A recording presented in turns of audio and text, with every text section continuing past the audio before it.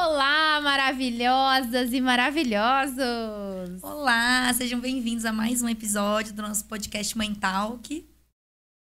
Né? Amiga, eu tô tão feliz de, de tudo tá fluindo desse jeito. Perfeitamente. É, tô bem feliz que esse projeto tá dando muito certo. Tô bem contente, inclusive, com as convidadas, que eu já vou apresentá-la. A de hoje é bem especial. Gente, é com um pouco de medo do podcast de hoje, mas vocês vão entender por quê. Primeiro eu vou agradecer os nossos patrocinadores. Vamos lá. Né? Vou começar com a Estilo Romano, maravilhosa. Eu pulei isso, né?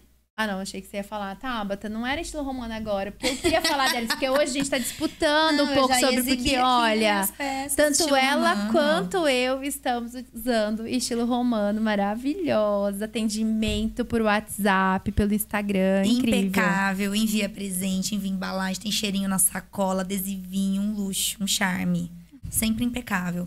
Andrada Odontologia. Acho necessário, gente. Que modéstia à parte, não é porque sou eu a profissional lá, mas assim, excelente atendimento, não é? Eu posso falar como mãe de paciente, tá? Que eu levo a Ana Rosa lá, ela ama o atendimento sensacional. Se seus filhos têm medo, inclusive de dentista, levem lá, porque o atendimento realmente é diferenciado. Fora ah. isso, né, gente, tem todo o procedimento para a família toda harmonização, hum. ortodontia, muito mais. Império Blonde, que cuida dos nossos cabelos aqui, né? Ó o brilho. Ah. Diogo. Uma hidrataçãozinha, maravilhoso. A Dress Store, que cuida dos nossos looks também, com peças maravilhosas, sempre dando dica de estilo no Instagram, postando vários looks já montados, prontos para você pegar e usar. Inclusive tem preços maravilhosos, tá? Eu sou, apesar de eles serem patrocinadores aqui, eu também sou cliente lá. A gente tem a PR Sublimações, que faz aqui as nossas canecas. Tem todo. Perfeitas. Maravilhoso, assim, tem nosso QR Code aqui atrás, é incrível. Então, se vocês quiserem lembrancinha. Aí, assim, atendimento super rápido. Mandou mensagem tal, tum, tum, no outro dia já tá lá, né? Qualidade incrível, qualidade. Não tenho o que falar. Uhum. Invicta Movelaria. É, obrigada, Móveis mozão. de extrema qualidade, projetos criativos para casa, para quarto, para consultório, para empresa, para tudo que você possa imaginar. Perfeito. A AF Contabilidade, que é um patrocinador incrível, amiga. Porque, assim, meninas, meninos, se vocês estão pensando em abrir a empresa de vocês, eles te dão toda a consultoria. Se vocês tiverem que mudar a razão social, mudar alguma coisa, se tiver dúvida, assim, ó, o Aleph, que é o proprietário da AF Contabilidade, ele simplesmente é uma pessoa muito, eu acho, ele estuda muito, sabe? Então assim, ele se envolve, então assim, vale a pena. É uma empresa muito bacana. E a Total Limp, inclusive socorro. A Total Limp que ajuda para quem tá aí na correria, que precisa de suporte em casa, com aquela limpeza, com organização, aquele suporte que a gente precisa mesmo, porque na correria tem muita coisa que a gente precisa terceirizar e eles são maravilhosos para isso. Então, Aproveitem para entrar aí no Instagram de todos eles para seguir o pessoal para acompanhar o trabalho deles também, por favor. É isso, muito obrigada para os nossos patrocinadores. E agora eu vou apresentar. Vamos lá. A nossa convidada de hoje. Vocês vão entender por que, que eu tô. Assim. Ela é pedagoga, pós-graduada em gestão e coordenação pedagógica, psipedagoga, assim fala, né? Psicopedagoga, isso. Educadora paramental para tudo. Ela ajuda as mães a se relacionar melhor com seus filhos. Ela é mãe da Júlia e da Laura, mãe de adolescente, né? Então vocês já entenderam tudo. É... Eu peguei uma frase dela aqui que eu fiquei pensando que seria bem interessante falar para poder apresentá-la. Ela coloca assim: talvez o maior desafio para os seus pais e mães sejam entre consciência e flexibilidade, respeitar as diferenças individuais e compartilhar valores familiares. Gente, maravilhoso. Que convidada de peso, não? Que responsabilidade. Ela é mentora que cuida dessa parte do convívio dos filhos e pais e tudo mais. Enfim, é ela. Maravilhosa. Aline Zarzu! Obrigada! Gente, eu fico super feliz de estar aqui hoje com vocês. Eu adoro falar sobre educação, sobre filhos, é, sobre convivência, relacionamento, comunicação. Ah, tô amando. Gratidão de verdade por a gente que agradece ter demais essa oportunidade. você ter aceitado o nosso convite, vir aqui para fazer essa partilha com a gente, né? Tanto da sua, da, a gente vai conversar muito aqui sobre questões pessoais, que a gente sempre mistura aquela coisa maternidade e profissão, e Vou também para ajudar, para socorrer né, gente? Porque sim, é possível uma criação respeitosa. E ela vai trazer milhares de dicas pra gente aqui hoje.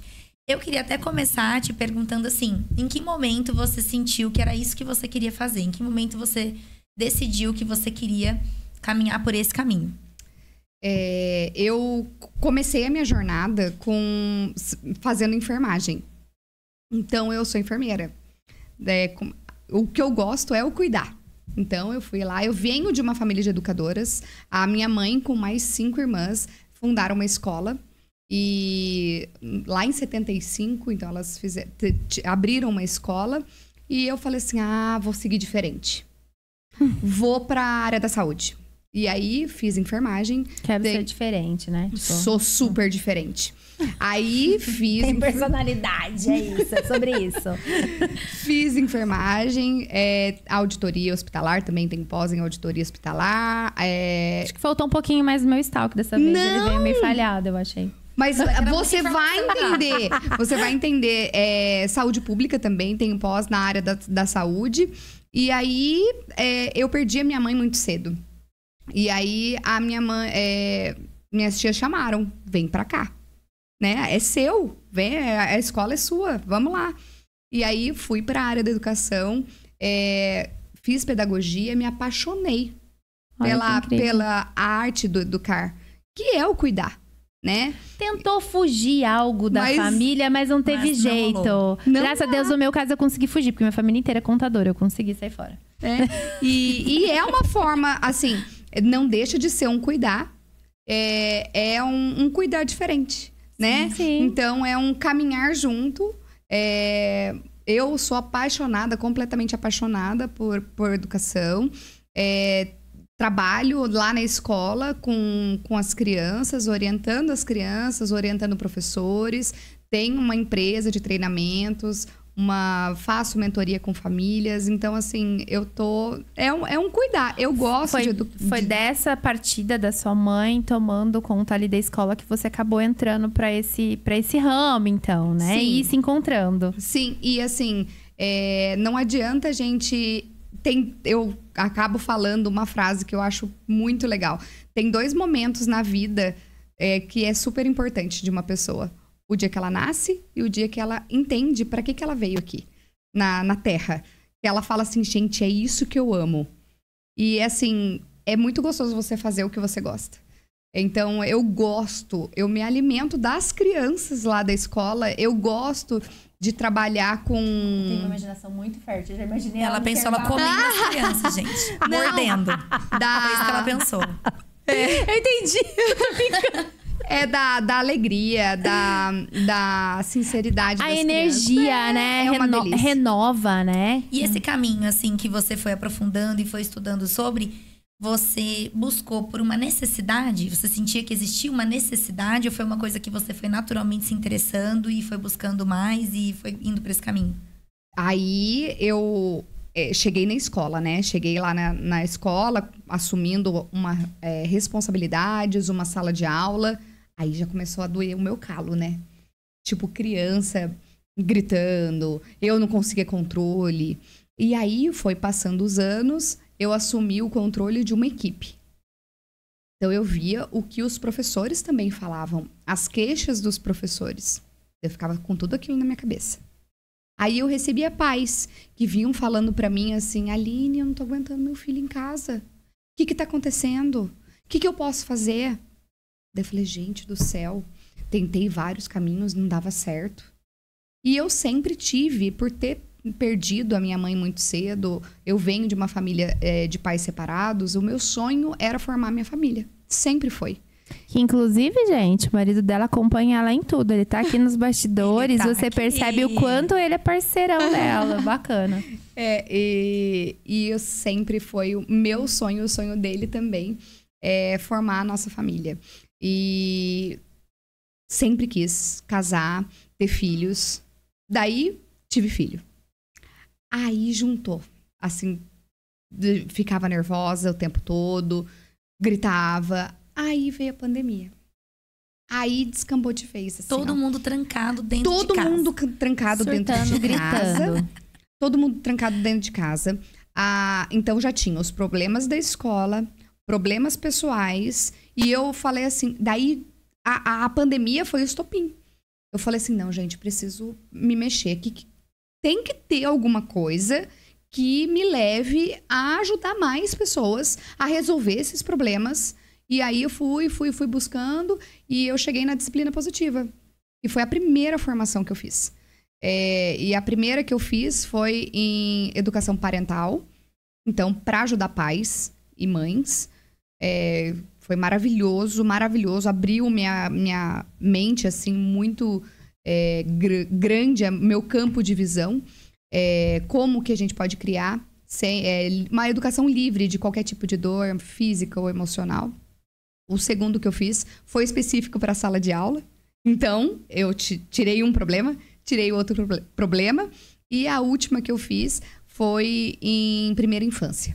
Então, eu consigo trabalhar bem aquela fase, específico em escola, que é o ramo que eu trabalho também, e com famílias transformando famílias. É, então, assim, é, foi uma, um, uma, vários problemas que me levaram a me mexer. Às, às, vezes a gente se acomoda com os problemas que a gente tem em casa, com os problemas que a gente tem com o marido, com os filhos. Por quê? Porque sempre foi assim.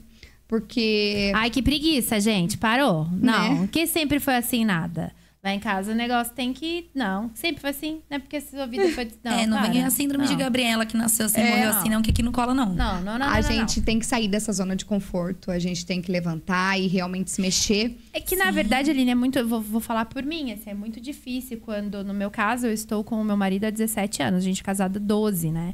Então, você também. Eu também é... tô casada há 17. 17. É, meu, meu caso, casada 12, 17 juntos, assim. É. E assim é, chega um momento que tem determinadas coisas que a gente, ai, sabe, deixa e vai. E na verdade aquilo vai vai te incomodando sem que você perceba. E de repente você tem um, um surto, né? E, e, aí fala, poxa, mas peraí.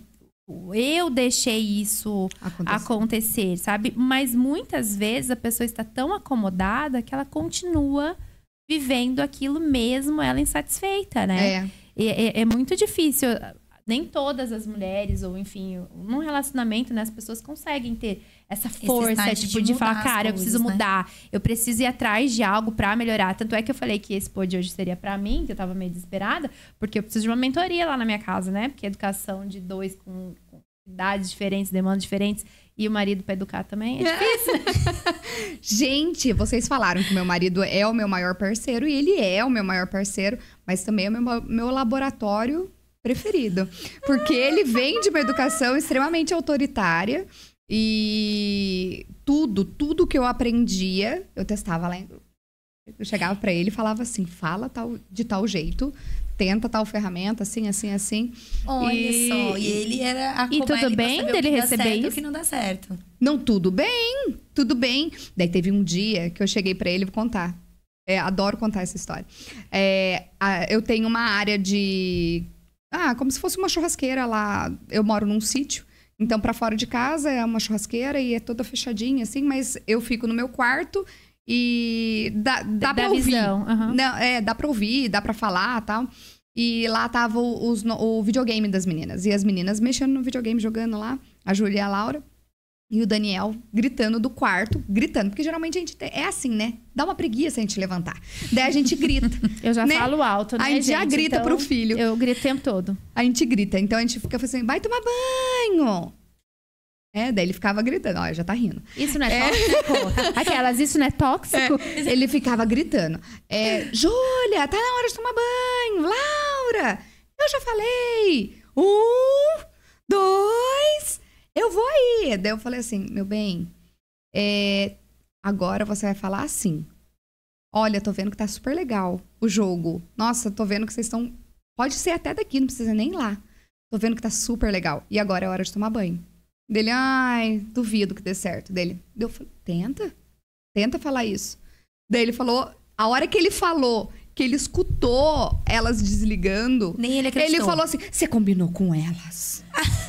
Você combinou. Foi armadilha. Gente, eu quero comunicar para vocês o seguinte.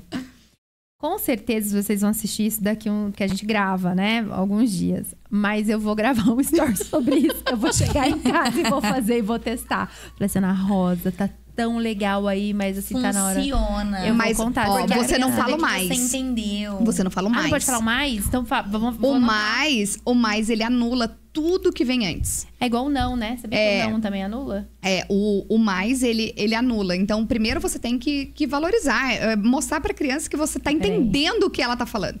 Tá legal. é, o que ela tá aí. fazendo. Tá legal aí. E, Agora é hora de tomar banho. e agora é hora de tomar banho. Viu, Marcos Paulo? É o que eu falo pra você. A criança compreende. Eu falo pra ele, realmente, se a criança sente que você... Às vezes, assim, aquela, aquela birra de não quer ir embora. Eu não vou embora. E aí você fala que você vai largar. Eu acho horrível. Aí você fala que você vai largar a criança lá. No shopping, né? E, aí, e o pior é que eu dou uma descolada, ele fica. Você fala que você vai deixar ele lá, ele fala assim... "Tá bom." Se ele baixar o Uber ali no celular dele, ele fica. E aí, às vezes, eu falo assim, faz ele ver que você entendeu por que, que ele não quer ir. Mas que não dá pra ele ficar mais. É. Então fala pra ele assim: eu sei, nossa, às vezes eu falo pra ele, filhão, eu sei, eu também queria ficar aqui até acabar o dia com as minhas amigas também. E a gente tem que ir embora dormir, cara. É. Porque a gente vai acordar amanhã cedo, você vai ficar cansado. Ele acaba, mesmo que contra a vontade, mas ele entende, ele vai embora mesmo. É. Diferente do tipo assim, se eu for aí e você, você vai ajudado, ver. Você Gente. vai ver. Se eu for aí, eu vou desligar esse videogame. Isso. Eu, e, você, e você vai ficar sem. E o pior, que pra mim isso é pior. Você vai ficar sem jogar videogame dois meses. Dois dias depois a criança tá jogando videogame. É. Qual é a moral que você tem com retirar. ela? Vou me retirar. eu vou me retirar. Imagina. Uma coisa que Ana a gente. Rosa. Eu A já gente- falei, eu vou tirar a televisão do seu quarto. E a Ana Rosa assim, ó. Vai nada. E o dia Tira. que a gente Ela nem tirou a onde pôr essa televisão, televisão. Escuta, a gente tirou a televisão, mas não por, por- porque ela tinha feito alguma coisa. Eu sempre ameaço de tirar a televisão. Tóxica, assim, pode jogar. Aí, eu... Um dia a gente foi fazer um evento da empresa e eu precisava... A outra televisão tava sem suporte. Aí eu falei, gente, liguei pros meninos da empresa, da marcenaria. Falei, cara, passa na minha casa, pega a TV do quarto da Ana Rosa. Porque são só dois dias de evento, tipo, ela vai pro meu quarto, pro outro lugar e tal. E a outra tá sem suporte, vamos resolver, passa lá e pega. Eles foram pegar quando ela chegou da escola. Minha mãe cumpriu. Por que eu não fiz nada dessa vez? Castigo, coitada. Eu falei, não Olha. mesmo, meu amor, eu vou trazer de volta. Depois ainda, quando eu levei de volta, ela falou, cadê meu controle? Mas. Mas com crianças pequenas, a gente usa essa primeira ferramenta. Então, a gente va- valoriza o que está acontecendo, o que ela está fazendo. Que geralmente é assistir um, um- desenho, é, tem que fazer tarefa, né? Alguma coisa assim. Ó, tá, tô vendo que você tá gostando. Ai, esse desenho é super legal, né? E agora é hora de fazer tarefa. Então, sempre o valoriza e dá E- o comando. E a- o comando é o E agora. É, com o E. O E, Pra não ele conecta. que é punição, né? Assim, É, tá muito legal, o- mas você não pode mais. Mas acabou, né? O, o E conecta as duas ação- ações. E quando é uma coisa assim que é muito chato, né? Tipo, a criança. Pensa a prioridade de uma criança de 4 anos é, se vai ser tomar banho. É óbvio que não. N- Não é, a gente né, gente? que tem é gente muito com 34 mais legal. que a prioridade É não é. muito mais legal assistir televisão. Eu ontem tive uma situação com o meu priminho que tem autismo e ele não queria tomar banho de jeito nenhum, de jeito nenhum. E nós estávamos passando por uma situação muito complicada na casa da minha tia e tal, e aí eu fui pra poder ajudar. E os adultos, cabeça toda cheia, eu, falei- eu- e eu fui pra ficar com ele, né, Pra dar uma força. E eu brinquei de bola, aquela coisa que tem essa, é muito comum, né, as crianças brincarem, né, jogar bola meia hora, é quase duas horas jogando bola. Aí eu falei, carinha, você tem que tomar banho. Ele, não quero, não sei o que tal. Aí meti aí, tá, bata esse daí você não vai conseguir tomar banho. Aí eu peguei e falei, vem cá, vou te contar um segredo. Eu sei dar banho de um jeito muito divertido. Ele, você vai me dar banho? Eu falei, vamos lá lavar essa bunda suja. Eu brinquei, nananã. Aham. Levei, consegui entra- fazer ele conversando, consegui levar ele pro banheiro. Quando chegou lá, eu falei assim: vamos tirar a fralda, vou te ensinar a chacoalhar o cocô. E não sei o quê. Comecei a fazer, enfiei ele dentro do banho. Quando eu vi, ele já tava tomando banho, ele não queria mais sair. Aí eu tive É. outra dificuldade, foi tentar tirar ele sair. Mas assim, saiu, tomou banho, ficou cheiroso, maravilhoso. Mamou e dormiu. E não Mas. precisou de nenhum esforço. Tipo assim, o seu esforço foi de ser criativa. Mas não precisou do esforço físico de arrastar ele Não, até o não, não, banheiro, nesse não, caso criou não aquele estresse. Mas acontece. Eu já Sim. atendi mães que, que Não, falam. eu já fiz isso com a minha filha, inclusive. É que, ai, Aline, eu não sei mais o que eu faço do, do banho. Então, chega e fala assim: vamos ver quem chega mais rápido no banheiro. Eu, você. Mas a gente vai ter que. É uma corrida diferente. A gente vai igual formiga. Ou a gente vai pulando igual coelhinho. Gente, Ser pai dá super. trabalho. É. Dá trabalho. A ninguém avisou que não vinha no pacote, né? Tipo, E não ser, dá só o trabalho leve. fazer, dá o trabalho as pessoas ao redor não compreenderem. Ah, sim. sua- às vezes é aquilo que você falou. Uhum. Quantas vezes eu já ouvi assim: esse menino vai montar em você. É. Esse menino vai cagar na sua boca. Não fala É, assim? fala. Falo, gente. O pessoal. Primeiro, deixa eu fazer do meu jeito, né? É. deixa que eu sei. O seu filho não vai te respeitar. É. Ele não vai te respeitar. É. E eu falo, sabe, às vezes assim, eu sei, realmente demanda muito mais tempo, às vezes mais paciência, não é todo dia que funciona igual. Tem dia que você tá exausto, tem dia que você tem vontade de chorar. Mas tá eu- tudo é bem. legal a gente ter aquela consciência de que, às vezes, por exemplo, você chegou muito cansado, estressado, e você tá mesmo sem paciência, mas não foi seu filho que te estressou. Né? E aí, ele também não tem. Pra ele, a parte divertida do dia é quando você chega. Se você chega um nojo de pessoa, a parte triste do dia dele vai ser quando você chegou. Já parou pra pensar o seu filho entender que o momento chato do dia é quando você chega, porque ele morre de medo de você, porque você vai chegar azedo, gritando, brigando, dando paulada, jogando chinelo, remessando cachorro. Gente, não Você tem, não, a criança não tem culpa, né? você chegou a ver um vídeo que tá super viralizado, que é de um menininho chinês? Você chegou a ver? Que ele fala que ele acha que a mãe não gosta dele. Você que chegou ele só a fica ver? sozinho, eu vi. Inclusive, eu chorei que- as três vezes que eu assisti. Pra, que- é, Eu pra não quem, assisti, pra quem não, tem, não sabe o que, que é, é um menininho, é um, um programa chinês-coreano, não sei, tipo, lá, de lá, daquelas bandas de lá. Ocidental. né? E é um menininho que é, é um programa como se fosse o Super Nanny. Então a família contrata pra, porque precisa de, de uma ajuda de, de um profissional. E o menininho tava dando problemas de raiva, de acessos de raiva. Então o menininho gritava, chorava, é, tava dando um chilique, entre aspas, birras em casa. E aí, quando o programa gravou, ele começou a falar. Ele falou: é, eu, eu queria só brincar com minha mãe e com meu pai. Eu fico muito sozinho. Eu fico né? Muito fala, Eu sozinho. só fico sozinho, eu só brinco sozinho. E a câmera filma ele sozinho, Deitado no chão. deitado no chão, brincando sozinho. Quem cuida dele, quem é cuidador dele é a avó. E a avó tem vários problemas de saúde. E a mãe trabalha o dia inteiro, o pai também. Quando a mãe chega, ela tá morta. E não cansada. consegue dar suporte pra brincar também, tá e cansada. também está cansada. É. Ninguém nasce sabendo. A gente vem de uma cultura que nasce uma mãe, nasce um filho, nasce uma mãe. E a gente estuda e se especializa para trocentas coisas, para várias coisas na nossa vida. E a gente não estuda para mais importante, que é formar um ser humano. Então a gente precisa estudar, entender que a gente é ser humano e que a gente vai cometer erros. Sim. Então, essa mãe, a hora que ela viu que aquela birra dele, aquele excesso de raiva dele, era porque ele estava sozinho. Criança não sabe falar assim, me dá atenção. Mas olha, sabe, você tá falando isso? Eu tô aqui. Pensando. É, a minha filha, desde quando ela estava na minha barriga, eu tinha certeza que ela ia ser muito grudada com o meu marido. Até porque quando o Rodrigo chegava, ela parava de mexer. Ela não mexeu pra ele durante a sessão. Eu falava, calma, Rodrigo, porque eu tenho certeza que ela se sente segura com você e ela vai ser grudada. E fato. É, tanto é que uma vez ela sonhou rapidamente, não era sobre isso, mas já vou uma vez ela sonhou, acordou chorando. Mamãe, eu sonhei que você tinha se separado do papai, não sei o que e tal. Eu falei, nossa, filha, que coisa, né? E aí a gente tava morando em casas separadas, mamãe. Aí eu pesquei, eu falei, ué, mas você tava chorando porque eu tinha se separado do papai ou porque você estava morando com a mamãe? Porque eu morava com a mamãe. Tipo, enlouquecida pelo pai. Não, porque a Tabata é uma mãe tóxica. Não, gente, não é sobre isso. é sobre esse- essa loucura que ela tem, fissura pelo pai. E tudo bem. Eu também era assim com meu pai quando era pequena. Bom, o que, que eu ia te contar? Contar pra todos vocês.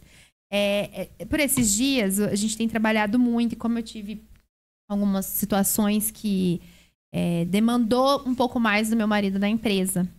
Então ele ficou um pouco mais ausente. Então ele chega em casa, muitas vezes ele senta no computador e fica trabalhando porque ainda tem trabalho pra fazer.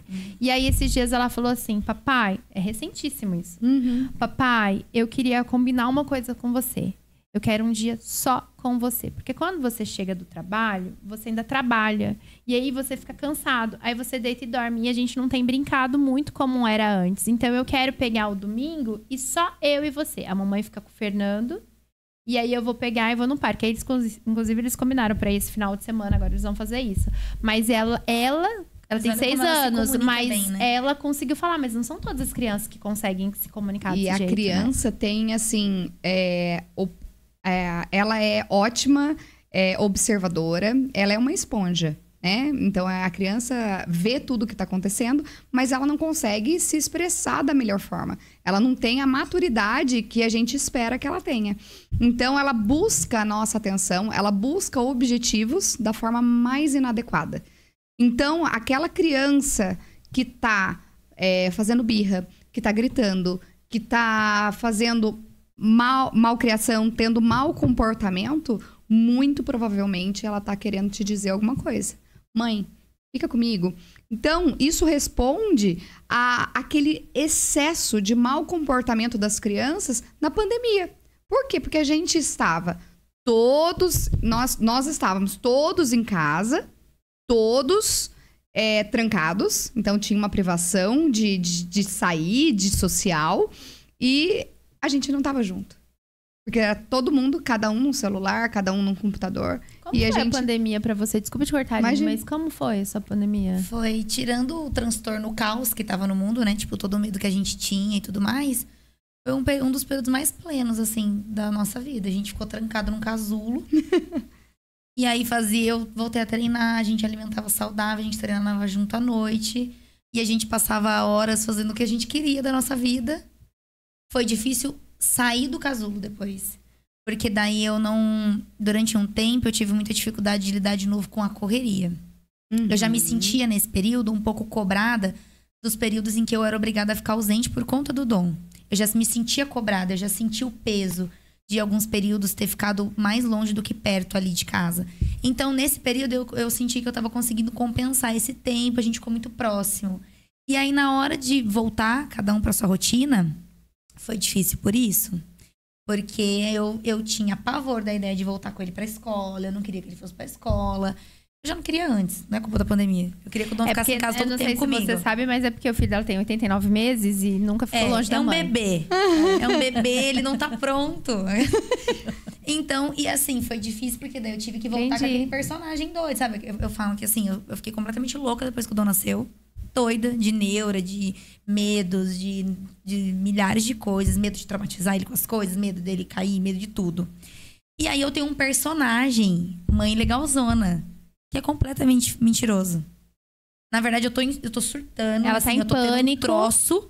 É. E aí eu estimulo ele a fazer porque eu gostaria. Eu acabei, até por conta de, de onde a gente vivia, das nossas condições, eu fui criada muito presa. Muito dentro de casa, tanto eu quanto meu irmão. E nós éramos dois bocós, assim, dois adultos sem nenhuma noção de absolutamente nada da vida. O irmão da Tessa continua sendo, brincadeira. Ah, Matheus, se você virar patrocinador, a gente para de falar de você. E aí, não, tanto é que tem muita coisa, realmente, às vezes eu vou conversar com meu irmão e ele não tem algumas malícias de alguma coisa, maldade, sabe? Maldade de alguma uhum. coisa. A gente foi criado muito ali e meu medo era justamente de fazer a mesma coisa com o Dom. E ao mesmo tempo, medo de que acontecesse alguma coisa com ele. Então eu faço, tipo assim, Filho, que legal, vai lá, vai ser muito bom. Uau! Cara, depois você me conta tudo. E ela ali, ó. Aí ele sai, eu choro, entendeu? E quando ele volta, eu finjo que tá tudo bem. E aí eu vou seguindo com essa falsidade para ele não se sentir transtornado pelos meus transtornos, entendeu? E aí, quando eu for resolver isso na terapia, no futuro, um dia eu conto para ele. Mas, mas agora tem, não. Mas você tem noção que isso é uma cobrança nossa, pessoal, de ser uma mãe presente, de, se, de dar conta de tudo, de dar a atenção e o carinho para o nosso companheiro. Então, assim, é um excesso de, de, de, tarefas e de cobranças pessoais e também da sociedade que, que acaba exigindo isso da mulher. Sim. Eu vejo. Da mãe perfeita, Homens sempre, né? fiquem em silêncio neste recinto. Vocês não têm lugar de fala. Não, porque sim, exige que a mulher saiba criar os filhos, criem da melhor forma e exige agora que também dê conta de, de, de tudo no mercado de trabalho. E Exato. a gente vai só acumulando tarefas. Quantas coisas é, você faz, você faz, que outras pessoas poderiam fazer? A gente poderia delegar essas funções. Quase todas. E a gente acaba tomando pra gente uma coisa que é para colaborar, a gente acaba tomando como nosso. E isso é, acumula fardo nas nossas costas. O tempo todo, e, né? E a gente acaba. Em relação à Cansando. empresa, eu aprendi a delegar algumas coisas para eu conseguir ter mais qualidade de vida dentro da minha casa, ainda mais com a chegada do mais novo, porque eu imaginava que assim. é, antes, quando eu engravidei, um período antes, a minha mãe já estava bem debilitada.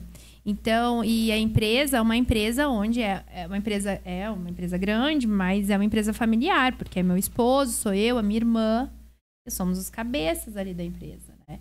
Então, no caso, quando minha mãe começou a ficar muito debilitada, eu comecei a perceber que eu ia precisar muito da minha irmã.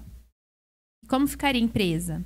E aí eu percebi minha família. Quando eu vi aquela situação, eu falei, cara, na empresa eu vou ter que aprender a delegar. E aí onde a gente reestruturou algumas coisas da empresa pra gente não ficar sobrecarregado e dar conta da família, da casa, do marido, das crianças. E logo depois veio o bebê, né?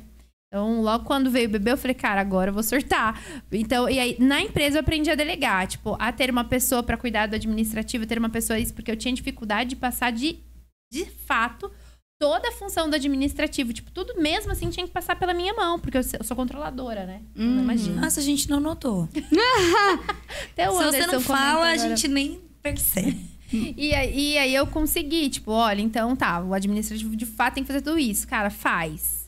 O pessoal da contabilidade faz. Confiar e deixar, Confiar e né? deixar. Isso. Entendeu? Porque a gente tem um péssimo hábito da gente achar, acho que é do ser humano, que só a gente sabe fazer e sabe fazer E que perfeito. ninguém faz melhor que a gente. Não é? Nós temos esse péssimo É hábito. que a gente também, às vezes, até. Eu tenho dificuldade de delegar muito, muito. E, por exemplo, na minha casa hoje, Essa é aí com a que eu queria rotina, também chegar. eu não terceirizo nada. Eu sei disso, Tem por isso que ela fala assim, como assim? Não tem, não sei o quê, não tem gente pra ajudar com isso. Não terceirizo nada, porque eu carregava, hoje eu já sei que não, mas eu carregava a sensação de que eu, eu não tava terceirizando porque eu não queria fazer algo por eles. E eu falava, não, Por isso tem que eu tenho contratar que fazer top. tudo. A Já total, tá a total, a vai total. marcar um dia. É. a Em nome de total. Jesus, preciso de ajuda. Colocar lá Tô total delegando limpe, agora. É, é. Mas é, quando eu converso com as mulheres, né, que me procuram, elas não têm noção do tamanho do fardo que elas, que elas é, possuem, né? É, pensa, quem que, quando vai no médico, quando vai no pediatra, quem que sabe a vida da criança? O pai ou a mãe? No nosso caso, os dois, mas eu vejo que na grande É maioria, muito mais a mãe. mãe. 90% a mãe. E aí eu, fui- eu Meu fico marido falando. só sabe porque ele teve que dessa vez agora na consulta, porque eu não pude comparecer. Eu falei pra ele: olha, tá acontecendo isso, isso, isso, isso, isso, isso, isso, isso com o Fernando. Mas Aí é ele sempre foi um cargo resolveu. da mãe. Sim, né? Assim, a mãe que marca, a mãe que tem que É. saber o dia, a mãe que tem que saber Tudo o que a mãe. aconteceu. E aí eu ficava A procu- rotina. eu ficava isso, rotina. Presente de aniversário. Quan- Ah, meu marido fala assim: "Ah, dá um abraço no amigo". Nossa, gente, minha cara vai no chão. Preciso comprar uma lembrancinha para as crianças. Ai, Mas hoje em dia ninguém dá. mais compra presente, não fala assim. Não. Hoje em dia ninguém mais dá Ai, presente. Aline, ai, Aline, bobeira. É, Assim, presentinho de aniversário. Ainda bem que minha filha não é amiga dele. Ó, são as pequenas coisinhas. Cortar a unha, ou, é, tirar coisa da geladeira. Exato. É, coisas que a gente vai pegando e que vai cansando, vai sobrecarregando. Eu sempre falo muito, eu até o gerenciar, né? Assim, você ter, tudo bem que você possa ter ali uma rede de apoio com 15 pessoas, mas você ser a pessoa, eu tô falando esporádico, tá, gente? Tô falando a pessoa que eu queria ser, porque eu não tenho, não. Mas assim, eu queria ter, não julgo não, porque eu teria 40 pessoas. Tranquilo. tranquilamente. Mas eu falo assim, de você ter aquela rede de apoio, mas você ter que sincronizar. Se você ali não der a ordem do que tem que acontecer e como tem que acontecer, nada acontece. Mas foi o que ela falou. Quando ela teve consciência. A consciência te traz mudança. A mudança gera medo. Mas você é, precisa ter a coragem, vai com medo mesmo. E aí a gente vai mudando, vai dando um passo de cada vez. E a gente tem que ter noção que maternidade não é perfeito. A gente não é perfeito. A gente vai errar. A gente vai gritar. A gente vai Ai, causar. bom! A gente vai causar muito. Mas não é o tempo todo, não, viu, Otávio? Não. É só às vezes. Aí- Não empolga que a Ana Rosa surta. A gente vai causar muitos traumas nos nossos filhos. Sim. A gente, a, a gente não pode é, viver querendo evitar situações desconfortáveis. Elas vão vir. Mas a gente, a gente precisa só pesar, né? Ter noção da, da frequência que elas acontecem e também se perdoar.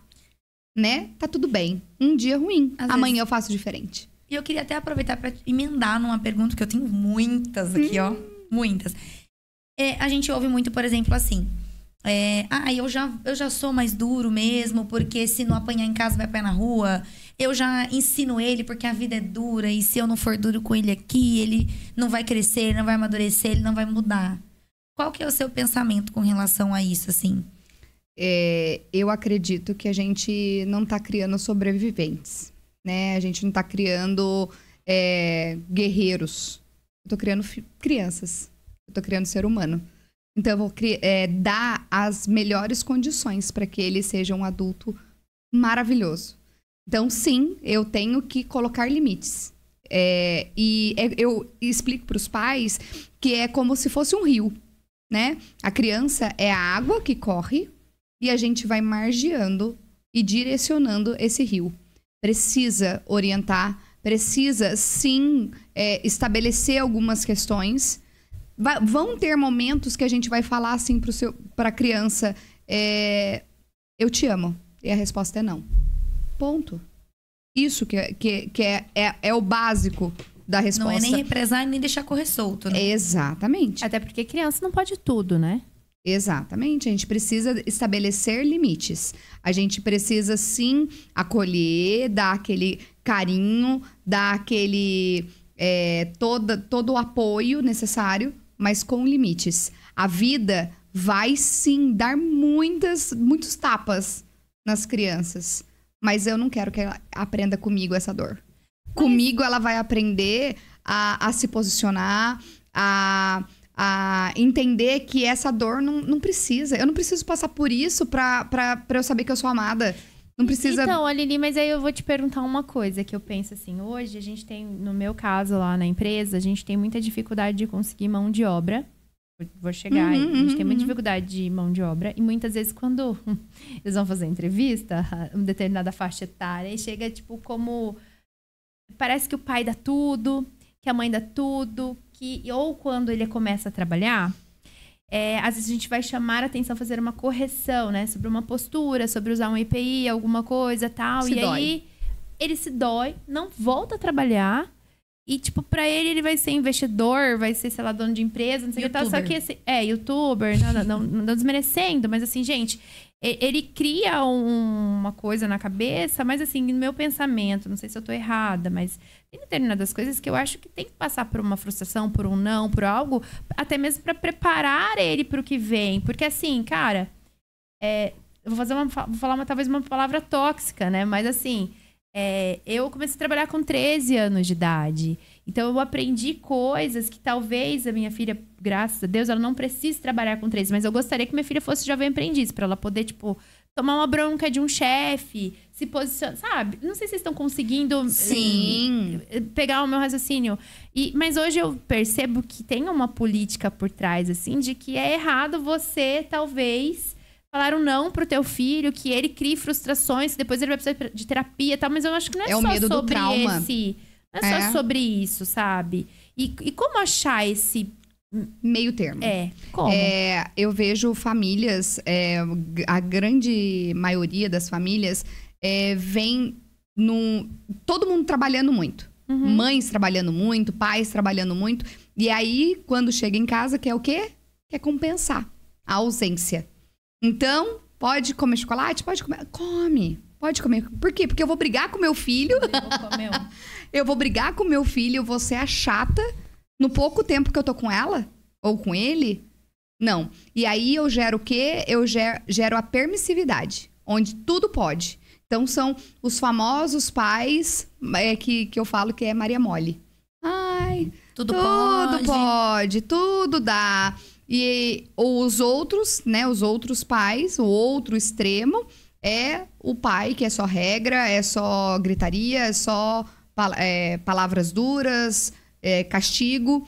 Então, a, a gente tem está nessa é, dualidade aí. Eu vejo muitos pais que acabam pesando para a permissividade, muitas vezes justificando uma ausência e, e o, o não, o, o, que falta é o equilíbrio, é andar no caminho do meio. É o Como eu... é difícil esse Demais. equilíbrio, porque tem dia que eu sou uma mãe surtada que grita não pode nada coloca o chinelo na mesa, e tem outro dia que pode comer tudo e pode fazer o que quiser. Eu não tenho Você entende que a gente anda constantemente nos dois extremos. Sim. Eu, eu estou ausente, eu tô trabalhando, tô aqui, ó, conversando com vocês. Eu chego em casa, eu falo assim, na minha cabeça, vem uma vozinha horrorosa na minha cabeça que fala assim: Nossa, você deixou a sua filha por quatro horas porque você estava trabalhando e agora o que ela quer é comer um chocolate e você não deixa. Aí eu falo assim: Ah, pode comer um chocolate. Daí ela já faz uma outra coisa, eu já fico nervosa, por quê? Porque eu é, já se per- já, já, permiti demais, aí eu peso a mão, aí eu grito. Aí eu deixo de castigo. Então a gente vai pipocando de um extremo pro outro o dia inteirinho. Por quê? Porque a gente não tem consciência. Quando a gente. Porque a gente é bipolar. Tô pensando nisso, na minha É, bipolaridade. a gente É que às vezes depende só- muito é bem aquilo. Não é, às vezes, sobre o comportamento. Na maioria das vezes, não é sobre o comportamento da criança, né? E não É é. sobre o seu estado de espírito. Exato. Aí você, às vezes, tá numa boa e você explica 40 vezes a mesma coisa. Tem dia que a criança vai falar um negócio nada a ver pra você e você tem uma crise psicótica. É. Sabe? Surta. Sou eu na Mas vida. existe também muito uma. Eu acho que, que fica assim. um- você deve ver muito isso. Não sei se você tem uma resistência, por exemplo, quando você vai conversar com um casal. Uma ideia de que não ser autoritário significa ser o pai Maria Mole. E ser você ser respeitoso não é, e não ser autoritário não significa que você vai ser permissivo. Uhum. É, eu, por exemplo, aos trancos e barrancos, né? Eu e meu esposo, a gente veio de criações muito diferentes, de estilo de criação e de forma de ver as coisas muito diferente. Hoje, é, ele enxerga já de uma forma, claro que a gente lida diferente, mas ele entende a necessidade de uma educação respeitosa, é, do não tocar, do não bater. Hoje ele, ele super entende isso. É, mas, no começo, para ele, a ideia era assim: se a gente não punir esse menino, Ele vai sambar na ele nossa vai, ele vai fazer o que ele quiser. Ele vai ser um doido, ele vai chegar aqui, ele vai botar o dedo na sua cara. O que na verdade não é, né? A gente assim não é hoje Não, o autoritário é com ele. extremamente educado, chega até a assustar. Ele é É. uma graça, não é porque é meu filho. Não, não. Porque se ele não, ele ia falar que ele era uma graça do mesmo jeito. Não, Mas ele é o muito Dom educado, é ele- muito educado, ele em casa, ele é muito respeitoso. Às vezes as pessoas me perguntam, pode ser que às vezes seja mais fácil, a gente não sabe se a criação é assim porque ele é assim ou ele é assim por causa da criação. O que, que você faz quando ele se joga no chão e faz birra? O Dom nunca se jogou no chão e fez birra. Eu nunca tive. Ele já deu os vezes ele bota uma asinha de fora. Já teve vez de eu dar uma Vamos ver na pegada, tipo assim, vamos é. ver na adolescência. tô falando com você, sabe? Assim, Uhum. já, lógico que já. De às vezes dar um tipo assim, filho, pelo amor da misericórdia de Jesus, dá licença um pouquinho pra mãe, que só um minutinho. Obrigada. Ternura, paixão. Acontece, mas assim, de um modo geral, é muito confundido. E eu vejo que a gente não só se cobra, como as pessoas cobram, né? De ser autoritário, de ser mais enérgico com as crianças. Eu vejo que o adulto não lida bem com a frustração da criança ter uma liberdade que ele não teve. Eu sinto muito isso. Eu tenho vontade de mandar tudo pra terapia. Apesar de eu não É. fazer. Não, essa, essa parte eu não, não tenho, não. O, não- o que eu vejo muito dos pais é um querendo compensar o outro. Então, o pai extremamente autoritário, a mãe vai falar. "Ah", vai ser a Dá do rolê. Sim. E a mãe que é muito autoritário, o pai vai ser o legalzão. Em casa rola Então- isso aí, do policial bom e o policial ruim às vezes. E aí, a gente também se cobra, as mães se cobram. Nossa, mas eu sou a bruxa. Eu sou a ruim. Porque eu estabeleço regras. E é, com essa. Tem o nome de bruxa, gente. Eu já tenho o nome de bruxa. Com essa. Com, é, com famílias assim, é mais difícil. Porque geralmente quem me procura agora tá começando um pouquinho mais um movimento de pais, mas normalmente são as mães. E pra gente implantar essa. essa olha, a- é, pais, vocês também precisam andar no caminho do meio. Não é só autoritário, não é só o legalzão, a gente precisa andar junto aqui, ó. Porque isso acaba levando mesmo, né? Bem essa ideia de compensação. Às vezes a gente tem essas conversas em casa, às vezes ele me cobra de algum momento, por exemplo, ser muito mole com ele. Aham. Eu falo, eu não estou sendo mole, eu não tiro a autoridade dele. Eu falei, mas eu acolhi. Isso. Porque você foi muito duro. E ele tem. Agora ele tem aí quantos? 89 meses. Ele tem 7 anos. Ele não vai se comportar como um, um Lorde de 23. É. E aí eu me vi na obrigação de acolher porque você foi muito duro. E aí, às vezes, a gente entra nessas também do policial bom e o policial ruim É. ali. Esse é, eu, eu não, eu, né, no meu caso, é, antes eu acolhia mais, hoje eu já não acolho mais por, na hora que ele é enérgico, eu acabo não, não acolhendo por conta de relacionamento mesmo, porque ela tem agora e a gente percebeu que ela tava, tipo, que eu tava Desautorizando, desautorizando o pai, invalidando aquilo que o pai estava fazendo. Então, tipo, aquela bronca que era pra ter entrado na cabecinha não, não foi processada corretamente. Uhum. Então, assim, mas isso é um trabalho recente, tá, gente? É. Não é uma coisa. Tem que ser um trabalho conjunto, o, o, o marido e a mulher. Então, assim, um não pode desautorizar o outro. Então, o pai foi um pouquinho mais duro, ou a mãe foi um pouco mais dura. Você estava presente.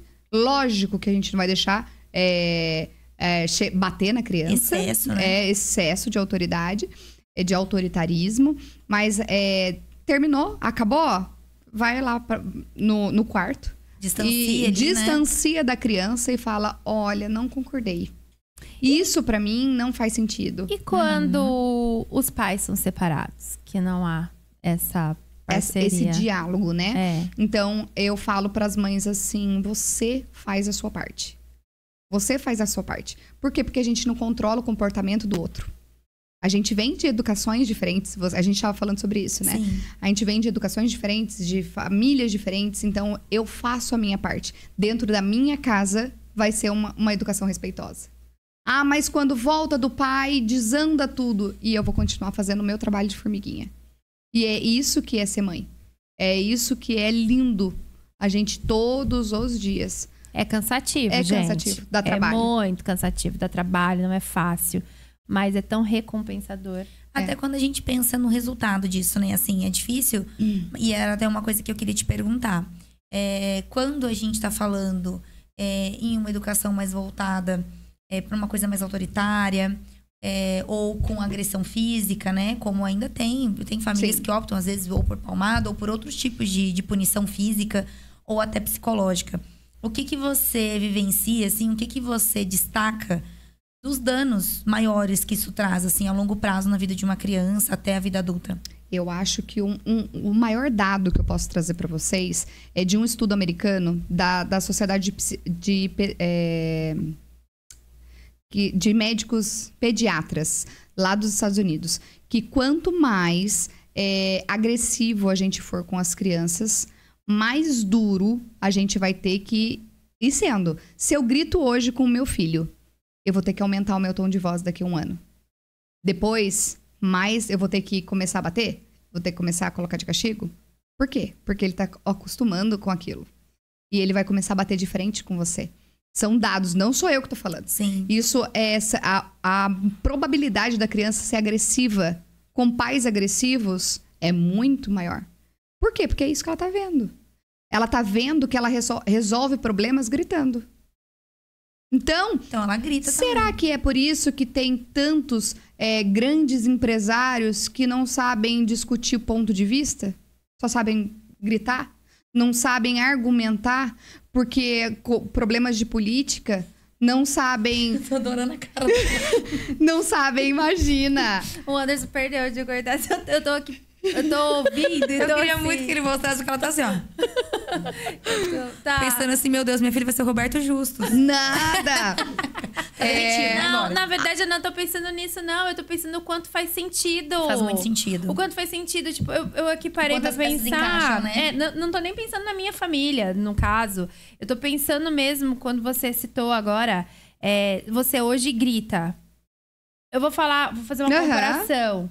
Quando a criança nasce, ela não tem noção do, da. Quando a gente nasce, né? A gente não tem noção da dor Uhum. certo? Então, às vezes, puxar o. ca- Uma formiguinha picou. Ela vai fazer um escândalo, porque aquilo foi a maior dor que ela já teve na vida. Sim. Aí no outro dia você vai pentear o cabelo da filha, a filha reclama porque do- pegou um nó, doeu, não sei o que. Ela vai fazer o maior O escândalo. limiar de dor dela vai Porque, aumentando. e aí isso vai cada vez mais.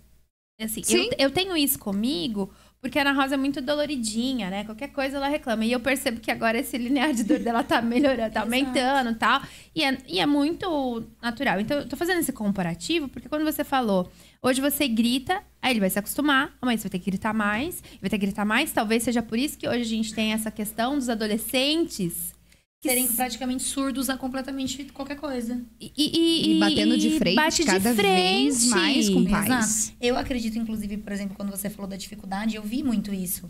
É de, de ter responsabilidade, de assumir responsabilidade, de querer ter horário para entrar e sair. Né? Que as pessoas hoje acham que, assim... Eu, eu cheguei a fazer algumas entrevistas em que eu percebia que a pessoa, assim... Zero noção. É, tipo assim, olha, eu posso te fazer esse favor de vir, mas assim, eu tenho que ser muito bem recompensado para isso. mas era mais sobre pessoas que sentem que nada mais pode bater nelas e machucar do que sobre pessoas que têm noção, assim, sabe? É, não, não era nem, acho que, desse pessoal que vem da galera flexível. Pelo contrário. É da gera... Eu sentia que vinha da geração do tipo assim: ah, eu já, já passei por tudo nessa vida. Não tem nada que você vai fazer o que você vai me bater. Então eu não tenho medo de nada. Porque, assim, respeito e medo são coisas completamente diferentes. E, e me gera pavor a ideia de pensar que meu filho tenha medo Exatamente de mim. Exatamente isso. É, você quer que o seu filho tenha respeito por você ou medo, né? Eu respeito figuras é, que, que, que, são exemplos, né? Então, assim, eu falo, gente, que homem ou que mulher que fez isso. Eu, eu respeito o caminhar, tudo que ela fez. E não, medo, medo é diferente. E o seu filho só vai repetir um mau comportamento, tá? Então vamos pensar. Todo, todo dia a gente grita com os filhos, entre aspas, tá? É, vamos, vamos supor aí, é, entre aspas, hipoteticamente, a situação. A gente acaba gritando com os nossos filhos por situações é, e eles. Isso só acontece porque a criança não entendeu. O grito funciona, Aline? Lógico. Lógico. Bater funciona, Aline? Lógico que funciona. Lógico que funciona. Não para? Ela para. Para né? no momento. Ordem. Por quê? Porque ela assustou, porque ela tá com medo. Por isso que ela vai parar o comportamento inadequado. Mas ela entendeu por que, que aquilo. Ela não deve fazer aquilo? Não. Por isso que você continua gritando. Porque aquela criança não aprendeu. Quando eu falo isso para um pai e o pai e a mãe entende isso, eu falo, ela, eles olham para mim e falam assim, ó, nossa. Ah, então é por isso que é. Nossa. É. Fa é faz super faz sentido, todo né? Todo sentido, todo sentido. É. Ah. E isso pode até mesmo envolver uma questão não só do medo e tudo mais, mas depois de, de transformar um, uma pessoa, um adulto, com baixa autoestima, né? Demais. É, é outra, outro ponto que você falou, o que, que gera é, a agressividade, né? Ser um pai ou uma mãe mais agressiva. O que, que gera na criança? Gera problemas de ansiedade, de depressão, de não confiar no outro. Então, assim, eu vou seguir o exemplo, eu vou ser depressiva, é, eu não vou confiar. Tem várias consequências a longo prazo. Só que o que a gente está acostumado é o agora. Sim. A gente pensa no que agora, Como agora, resolver agora o problema, eu né? quero eu quero que ele pare de chorar. Agora eu quero que ele desligue essa televisão, porque porque eu tô cansada. Eu pago, ah, eu pago o preço, que for. Então eu não penso a longo prazo. Eu sou imediatista. Então eu vou usar a ferramenta mais fácil, a, o caminho mais fácil. Às vezes o que eu sei, o que eu aprendi. Foi o que a gente estava né? falando também. Mesmo que você saiba que tem te trazido às vezes marcas, mas você reproduz Sim. aquilo porque é a forma que você sabe fazer, né? Assim. É, tem uma, uma, uma linha né, da psicologia é, que fala que a gente educa os outros, a gente tem relacionamento com os outros, é, com os filhos da gente, através do, do repete ou repele do que a gente viveu. Então, eu vivi uma experiência, eu vou repetir ou eu vou repelir aquilo que eu fiz. Então, assim, é, geralmente pais que apanharam muito ou que viver, é, viveram fechados vão ter uma outra experiência com os filhos. Porque eu não quero que eles passem por aquilo que eu passei. Sim. Sabe, você falando isso, eu pensei em relação à criação da minha mãe. Que, obviamente, eu não, não julgo. Acho que ela deu a melhor educação, apesar de eu não usá-la sempre. Mas ela deu a melhor educação que ela podia, que ela poderia dentro das limitações que ela tinha, do conhecimento que ela tinha, e não culpo a minha mãe se caso eu venha ser um ser humano, uma pessoa que, que né, de vez em quando bate uhum. bem da mente, eu não vou culpar a minha mãe sobre isso, sabe? Enfim, porque eu acho que hoje eu tenho terapias, métodos, de caminhos diferentes, caminhar, enfim, de me conhecer e de melhorar e tudo mais. Bom, enfim. Mas uma coisa que eu sempre falei, a minha mãe, ela teve um sentimento muito de. É muito natural, na verdade. Uhum. Eu vejo isso com muitas mães. Que tem o um sentimento de posse com o filho, tipo, é, de proteção, de uma coisa. Tanto é que a minha mãe, ela tinha muito medo, né? Quando ela tava bem mal doente e tal, ela falava assim: Meu Deus, o que vai ser dessa criança quando eu não estiver aqui? Da Ana Rosa na época. Uhum. Porque ela me achava uma mãe meio desleixada. Mas não é que era uma mãe desleixada, calma, vou explicar. Era uma vibe diferente da vibe dela. Porque a minha mãe era assim: Não, você só vai na casa de Ciclano se eu for. Então eu não podia fazer trabalho na casa dos meus amigos porque minha mãe não permitia. Então meus amigos que tinham que ir em casa.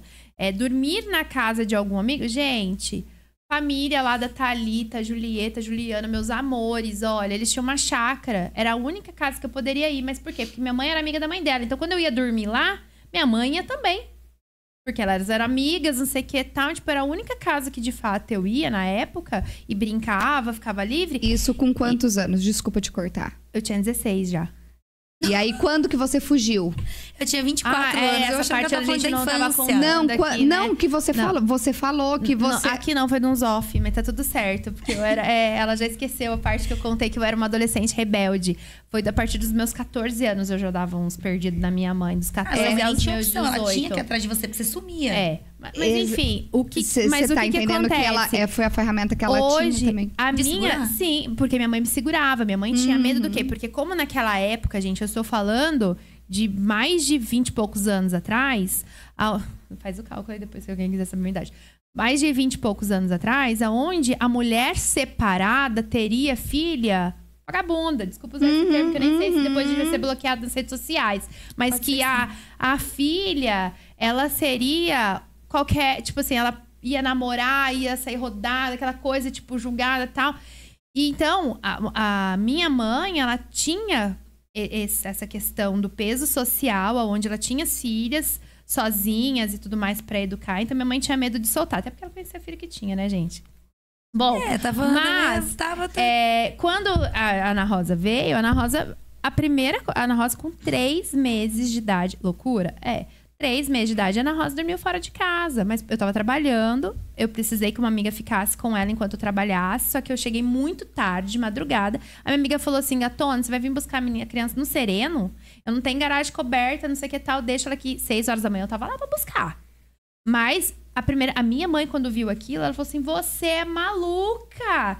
Uma criança de três meses aqui. A minha filha, ela, obviamente, com, com pessoas que eu conheço, mas, por exemplo, se ela quiser ir dormir na casa da, da Tássia, que é amigaça, que ela gosta do não sei o que tal, eu não tenho problema de deixar a minha filha dormir lá, porque eu também conheço, né, uhum. né, gente? Porque eu não vou deixar dormir na casa de qualquer um. Mas eu não teria esse problema. Mas por que que eu deixo?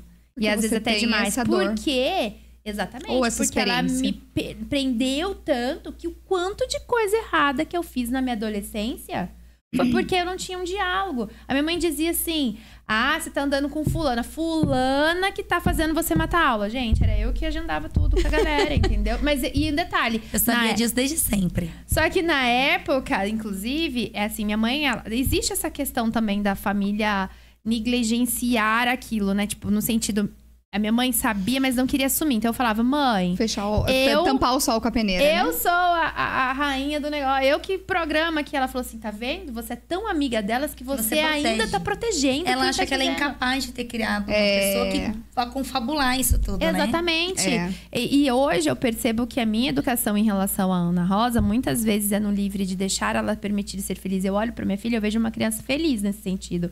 Tipo, que, não que ela possa tudo, não é isso.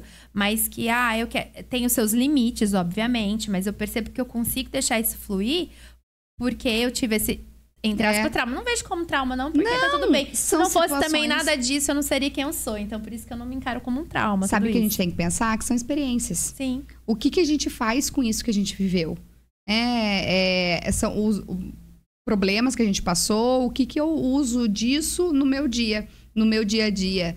É, o primeiro passo que a gente tem que tomar é autorresponsabilidade. Autoresponsabilidade emocional. É, eu tô. Uma, outro exemplo do meu marido maravilhoso. Ele tava lá, é, acho que ele tava indo tomar banho, não sei o quê, e aí ele falou pra Júlia, para a Laura, é, guardar os brinquedos da sala. Guarda o brinquedo da sala! Ah, começou a gritar com as meninas e elas não estavam guardando o brinquedo. Aí ele falou assim, ele entrou para tomar banho e ele falou assim: "Ai, essas meninas me tiram do sério. Aí, ó, ó, ó como eu tô nervoso". Daí eu deixei ele se acalmar.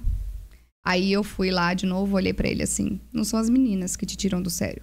Você que não consegue controlar a sua raiva, a sua insatisfação de não conseguir fazer elas obedecerem você e você está explodindo.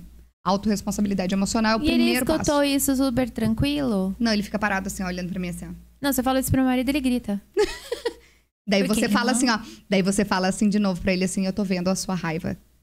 E você precisa, né? É a sua forma de colocar pra fora.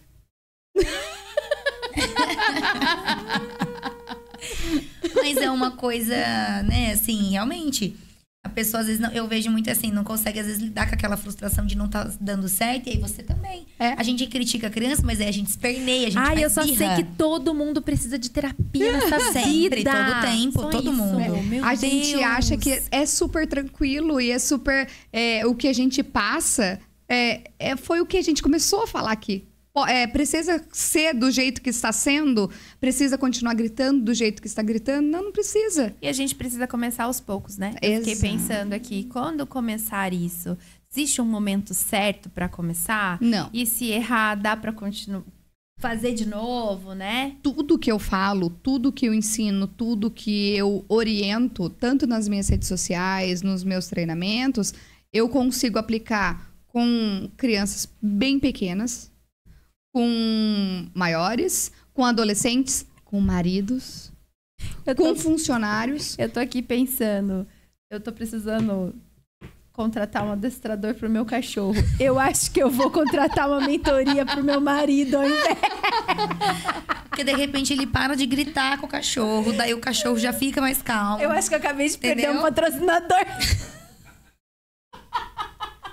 Invicta Movelaria, infelizmente, não tá mais conosco. Ai, Deus do céu. Então, mas vou esperar um pouco pra sair esse episódio. mas, mas é, às vezes realmente, né? Assim, que nem você falou, mesmo às vezes tem um momento que você quer tomar aquela decisão de que você quer agir de uma forma diferente, tem que ser uma coisa que vai funcionar em conjunto. Porque senão, de fato, realmente fica um gritando dentro de casa igual um doido, o outro tentando abaixar e conversar na altura da criança, É. e o outro gritando por cima. É, Dá uma Tem- chinelada nesse menino. Como é que você faz pra lidar com isso, né? tem que conversar, né? de- ó, expressar a sua decisão. A partir de hoje, eu não bato mais. A partir de hoje, eu, eu tomei uma decisão. E também se policiar. Eu assumi um compromisso. Eu assumi um compromisso com uma criança, com um ser humano. Ai, gente, e eu vou que ser difícil. diferente. Eu fico toda hora falando que você é uma pessoa pontual nessa vida, não consigo, imagina.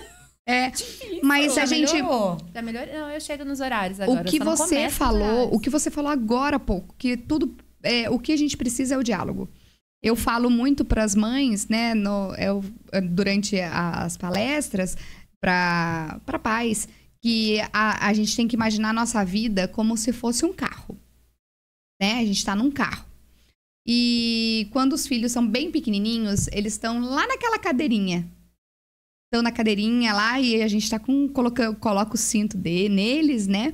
Depois eles vão para só para aquele Pra banquinho aham. é, e a vida vai passando. E quando eles vão pro banco da frente, pro passageiro, é aquela festa, né? Mas é, quando o filho assume a direção da vida deles, eles podem falar pra você desce do carro.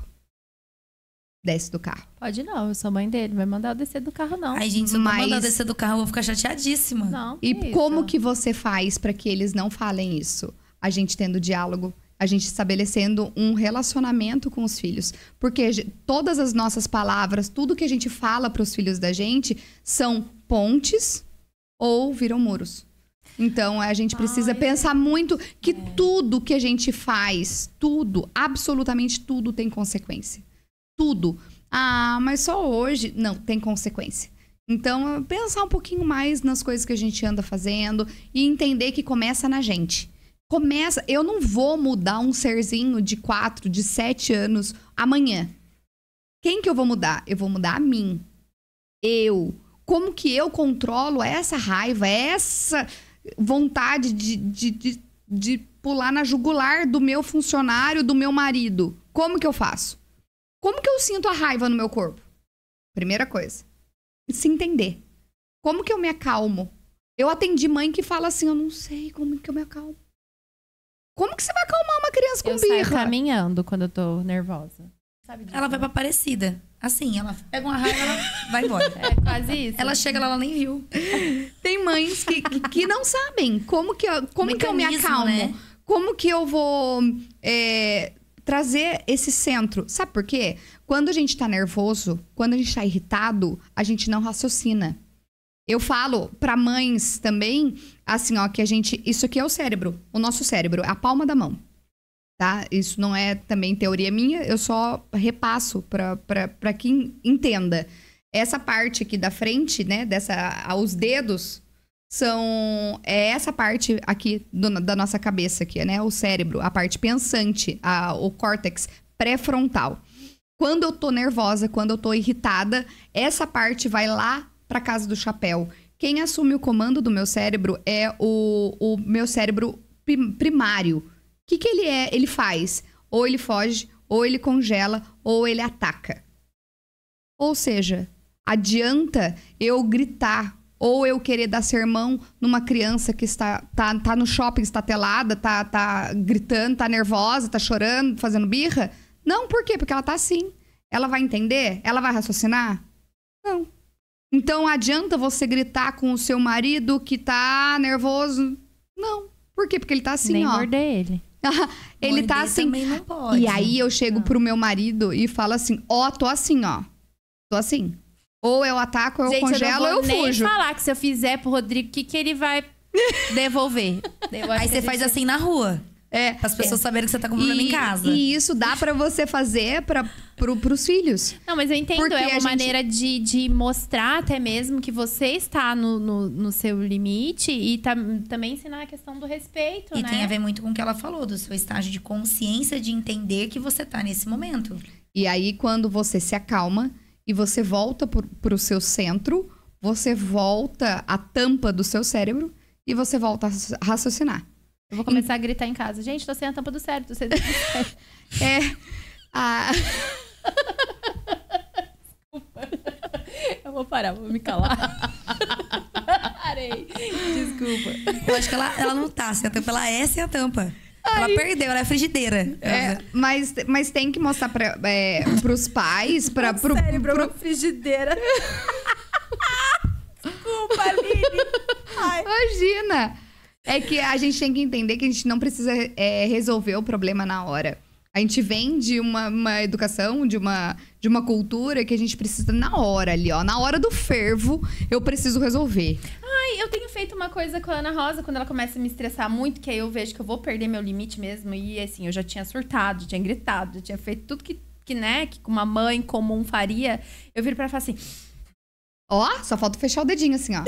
Chega. eu faço isso já, tipo, eu falo, chega Daqui a pouco a gente se fala. Eu Olha! Perto. É. Maravilhosa. Você não, nem sabia. Faço, eu nem sabia. Então eu acabei de você... pensar da, da, minha tampa aqui que foi embora, mas eu não tenho o dedinho aqui, né? Porque você... na verdade eu acho que eu nem tenho esse aqui, ó.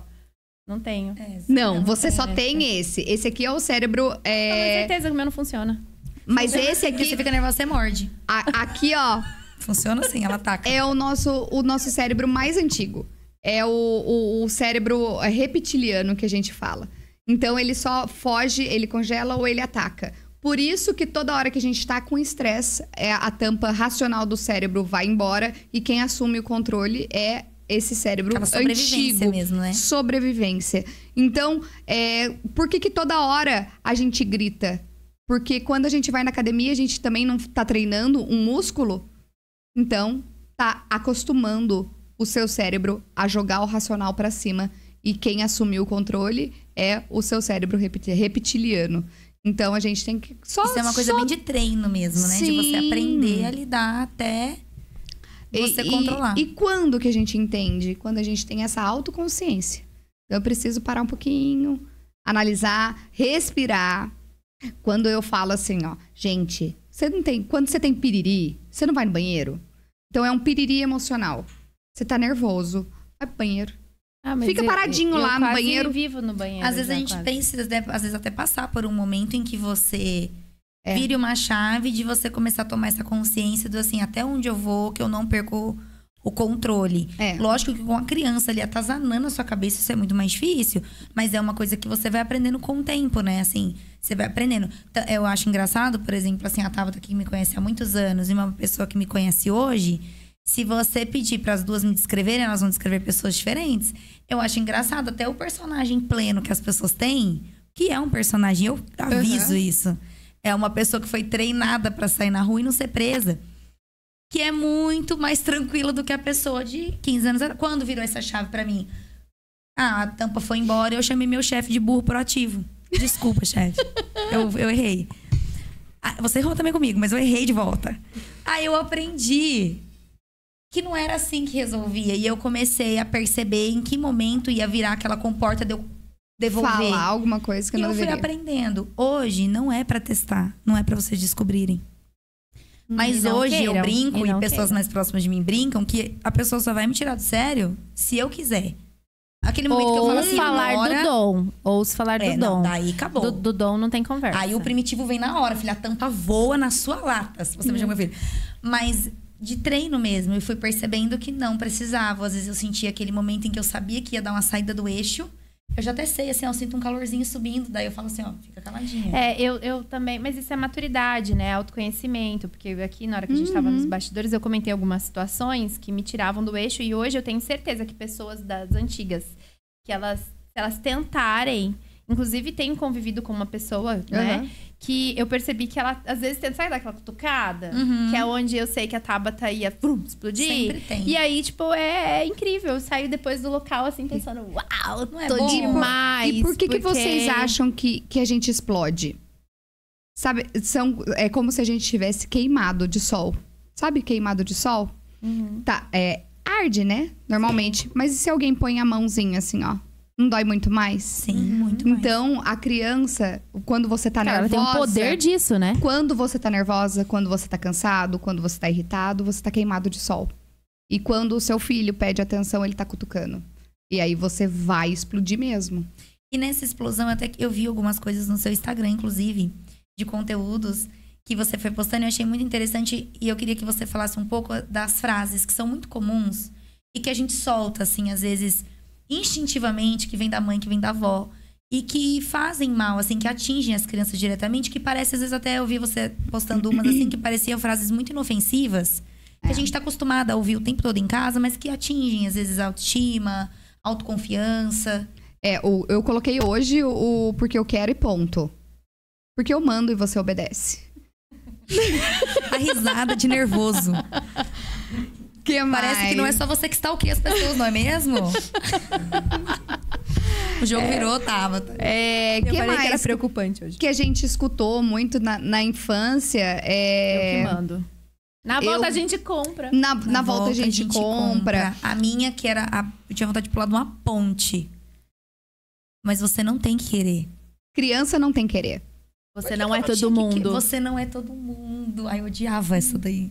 É, tá tudo bem. Para de, engole esse choro. Engole o choro. É, você. Ah, isso não doeu. Gente, tá doendo. Tem... Você tá chorando por quê? Eu vou, eu vou te dar motivo pra você chorar. É. gente, são frases que a gente é, não tem noção é, do quanto dói e quanto a gente carrega, né? O, Eu já engoli tanto choro até hoje. Gente, e só quem engoliu o choro sabe como. Parece atravessando a garganta, assim, ó. Vai, parece um pedregulho, em- assim. Judiação, gente. É. Gente, eu posso falar pra vocês, por experiência não vivida, mas de alguém muito próximo, que teve um relacionamento de excesso de amor do pai com a, a- a filha e vai me bloquear nas redes sociais. Não tem, nem ligo.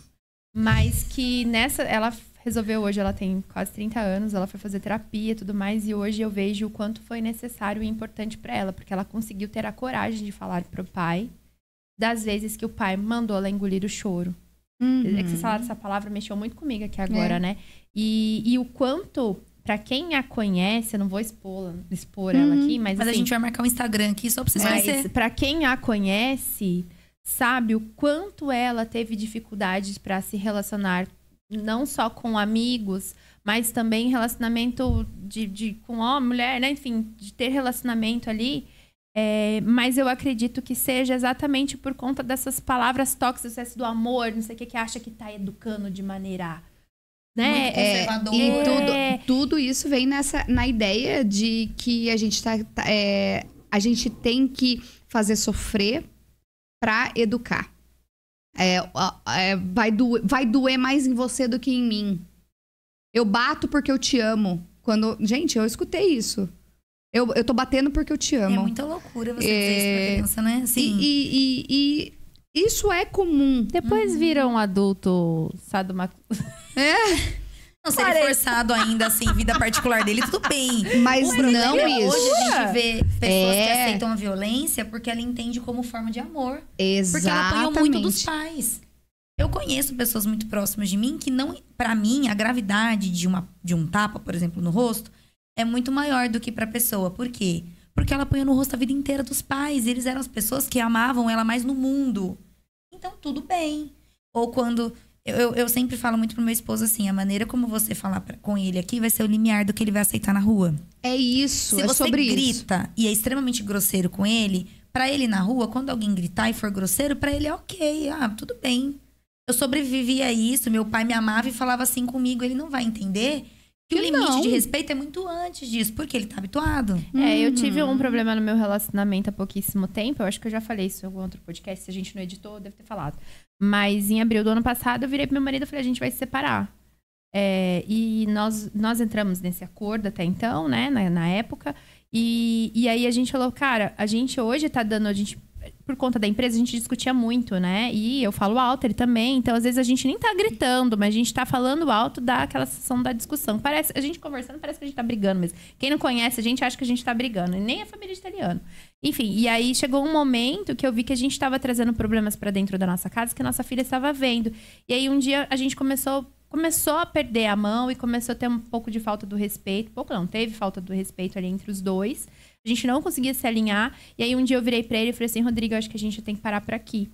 Então, até dezembro, se a gente não se resolver, a gente vai parar, porque a gente está ensinando para Ana Rosa que ela pode ter um relacionamento como o nosso. O nosso relacionamento não está bom mais. Sim. Então, a gente sentou, conversou. Aí a gente conseguiu se reestruturar. Tanto é que veio o Fernando, né, gente? Vocês já entenderam. Fizerem a conta, é. isso foi em abril do ano passado. O Fernando tem seis meses. É.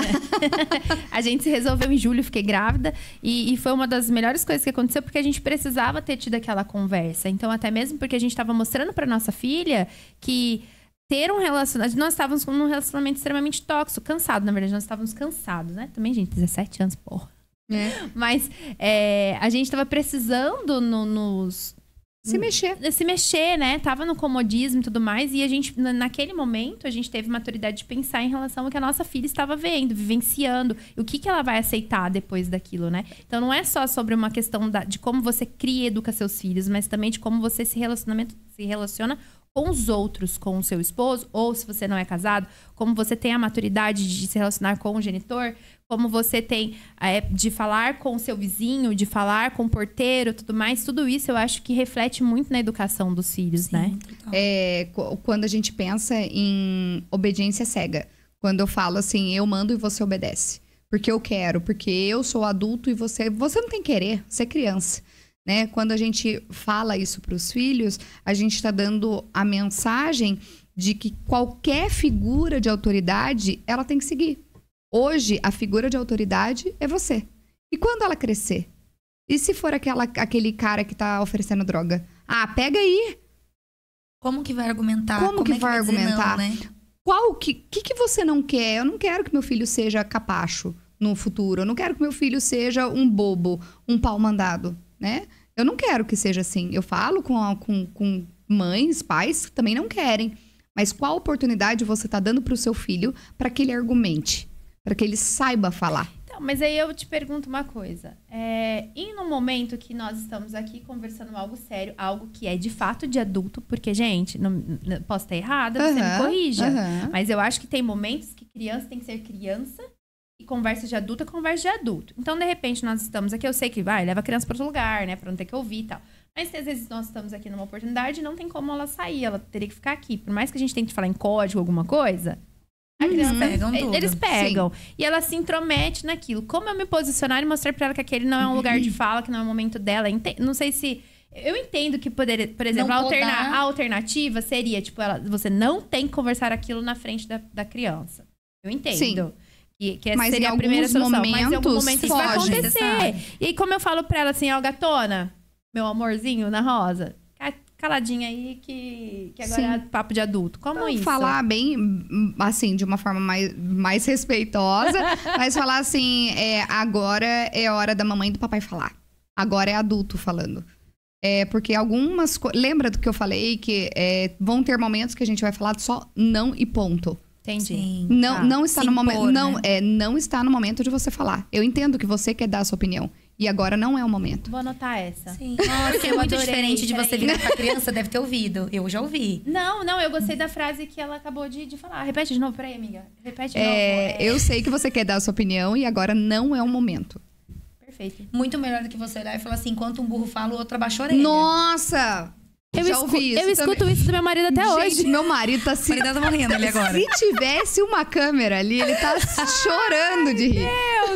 Eu, é? é, eu escuto isso até hoje do meu marido. De vez em quando ele fala assim, tá, tá eu tô falando. um Deixa. fala, o outro abaixa a orelha. Isso quando não faz assim, ó. shh, shh. Ai, Ai, não. Daí meu marido fala pra mim, chiu, não. E eu tenho certeza, tá aí, agora eu vou dar a dica. Eu tenho certeza que tem alguma coisa envolvida na minha infância. Não faz chill pra mim. E não me manda ficar quieta. Assim, fica, shh, fica quieta. Eu odeio que faça chill pra mim. O meu é calma. a minha vontade de ficar arremessar calma. o que eu tiver na lata da pessoa quando ela faz isso pra mim. Mas eu me lembro de situações bem específicas, assim, de eu me sentir, e muito criança, muito frustrada dos adultos me calarem. Eu não falo pouco. A gente já sabe. Inclusive, a gente sabe que o Matheus tem dificuldade de comunicação por causa da irmã, porque a irmã falava por ela. É, eu falava por ele, representava ele, ele ficou mudo. Mas eu, eu me lembro de situações muito específicas, assim, de, de, eu, de eu perguntar sobre alguma coisa, me lembro, assim, de situação bem pontual, de eu perguntar sobre uma coisa sobre a minha casa e uma pessoa da família virar e falar assim: Chiu, fica quieta que isso aqui é assunto de adulto, você não tem que se meter. Só que era sobre a minha casa, ela nem morava na minha casa. Mas eu não tive força de responder isso pra ela. Eu lembro que eu fiquei. Até hoje. Vou mandar uma mensagem pra ela hoje. Falar assim, cuida da sua vida. eu pensei agora que eu tenho esse trauma. Mas é que muitas vezes, desculpa te cortar, muitas vezes a gente não precisa falar pra pessoa. Muito legal a oportunidade que da- da- do, do conhecido, da conhecida que, que você falou, que teve a oportunidade de verbalizar isso. Ela verbalizou e depois bloqueou o pai. Mas assim, Nossa. é porque É, aquilo machucou, mesmo. Machucou. né? É. Então, assim. É, e É porque ele também não quantas- soube respeitar. Quando ela disse isso, ao invés dele ter, talvez ele receber e tentar entender e tentar se aproximar, ele na verdade continuou com, com, Ele revidou. com Uhum. frases muito abusivas e continuou daquela maneira com que ele achava que estava certo. E assim, o meu ponto de vista, não que eu acho que esteja certo, Aham. mas é aquilo que nós estávamos falando nos bastidores aqui, é sobre ele, né? Então não adianta você tentar mudar uma pessoa de 60 anos ou até mais, não sei quantos anos ele tem, mas não adianta ela tentar mudar o pai neste momento, sendo que ele não, ele não tá disposto a ouvir. Então, como ela se tratou, ela tá cuidando, tal, nesse caso eu acho que É, o trabalho mais nela, É, em como é, lidar, né? Como que ela, ela, ela recebe aquilo, Sim. né? Então, quando eu não consigo verbalizar isso, a gente coloca no papel. Então, é, eu fiz um, um, um exercício muito legal. Eu arrastei meu marido para treinamentos de inteligência emocional tá comigo. explicado. Muito legal. É, esse ano a gente já foi em dois, três, né? Três. Três treinamentos aí profundos de inteligência emocional, desenvolvimento pessoal. E, e um dos exercícios que a gente fez é colocar no papel, é, assim, eu tenho raiva de. O que, que você tem raiva? Nossa, não Ah, daí você fala, aí. daí você fala assim, eu não tenho raiva. Tem. A gente tem muita raiva guardada do pai, da mãe, de situações que aconteceram lá atrás e que a gente não verbaliza, Uhum. mas que a gente acaba é, projetando nos De outra filhos, forma, né? no companheiro, na- na- no emprego, a gente acaba projetando. Então, assim, é, a- quando você não saiba, não sabe a, da- qual a raiva que você tem, eu tenho raiva de, de da, da minha mãe mandar eu ficar quieta. Ai, que raiva. Quando você não sabe. E, e escreve. Escreve. Que raiva, que raiva do meu de me sentir abandonada. Que raiva da minha tia ter falado besteira. Do que raiva do, do meu irmão não não se posicionar, porque às vezes me dá raiva. Me, me dá um, um, um negócio que eu não sei explicar. Que raiva de não, não poder é, morar em que outro. Que raiva eu faço com esse papel depois? Daí você vira a página e você fala gratidão pela minha mãe ter é, me acolhido nos momentos. Obrigada. É, a gratidão pela minha mãe. Gente, eu sem saber, eu fiz isso antes de falar pro Rodrigo que eu queria me separar. Eu fiz. Ao é. próximo, eu coloquei todas as coisas, uma lista de coisas que eu, eu gost... Você me falou isso. É. De prós e contras. Eu coloquei coisas que eu sentia que era muito importante pra gente, o que eu gostava dele e as coisas que ele me irritava. Tudo bem que a lista do irritado foi grande, mas quando eu li a parte das coisas que. A lista da, do que eu não gostava, de incomodar era gigante. Mas quando eu li todas as coisas que me faziam bem, elas eram tão intensas e os sentimentos deles eram tão fortes que, mesmo sendo poucas, ela conseguiu amenizar o outro. Isso Olha, me fez muito é bem. isso. É isso. O Rodrigo aumentar o patrocínio agora depois dessa. Olha. É... Foi, foi uma das coisas que por isso que, desculpa, Aline, Imagina. mas foi por conta desse papel, você lembra disso? Uhum. Foi por conta disso que eu tive a, a, a, força. força de chegar nele e falar assim, cara, eu quero. Porque eu não queria me separar do meu marido, não, tá, gente? Eu amo o Rodrigo. Mas assim, tava num momento, tipo, que o relacionamento tava não tava. Então, assim, o querer separar era a solução. Porque eu sou do tipo da pessoa que acha que as coisas têm solução antes de chegar ao extremo do fim, eu acho que a gente pode tentar, tentar, tentar, tentar até chegar ao fim mesmo, sabe? Então ali eu tinha essa, eu criei força para poder lutar e aí deu certo, né? Veio o Fernando aí. É, a gente precisa colocar, então a gente é, coloca como se a gente tirasse tudo de, de ruim de dentro da gente. Raiva, raiva, raiva, raiva disso, disso, disso, disso. E depois você coloca pontos positivos. Gratidão. O que, que você. Ah, porque minha mãe cuidou do meu machucado. Porque meu pai estava comigo quando eu estava assistindo um filme. Porque minha mãe faz aquele prato que eu gosto. Porque meu marido. Então você coloca. Você colocou pontos negativos. Geralmente a gente faz de uma pessoa, né? Uma uhum, pessoa. Sim. Então eu penso toda a raiva que eu tenho da minha mãe, toda a gratidão que eu tenho da minha mãe. Do meu marido, do meu filho. Vai colocando. Coloca.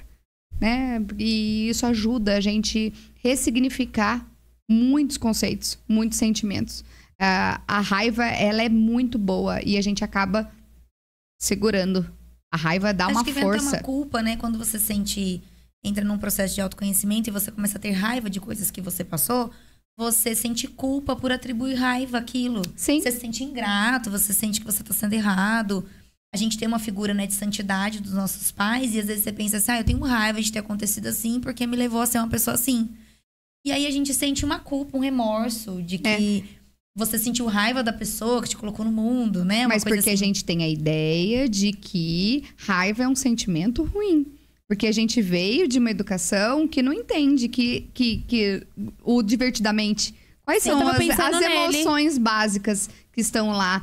A raiva é uma delas. Então eu, preci eu preciso sentir raiva. Sim. E a gente acaba, acaba é, reprimindo essa raiva a gente acaba, acaba guardando. Inclusive nas crianças, né? Começa Só daí. que aí ela explode e ela toma conta do nosso ser nos piores momentos. Nos momentos que a gente não consegue, vamos voltar lá no início desse podcast, que é no momento que você não consegue, a criança cutucou uhum. e você não consegue lidar e você acaba explodindo com ela, né? Exato. Gente, e... eu acho que eu fechei isso aqui, ó, foi uma mentoria pra mim.